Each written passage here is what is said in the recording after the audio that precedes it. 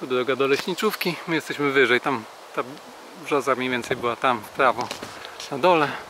Ale tutaj dalej ten pas zniszczenia się ciągnie. E, I on się ciągnie tam pewnie jeszcze dalej. Ale już no całego go nie obejdę, bo trudno mi będzie się poruszać po takim lesie. E, Ale jeszcze jedna dobra wiadomość na koniec. To jest przy samej brzozie, chwilę po tym jak przestałem nagrywać, spotkałem leśniczego. E, No i spytałem go, czy, w sensie spytałem, w sumie poprosiłem, powiedziałem mu, że dobrze by było jakby ją zostawili. Się ze mną zgodził.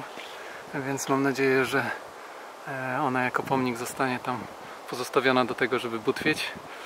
E, No chwilę pogadaliśmy, bardzo miły się wydawał.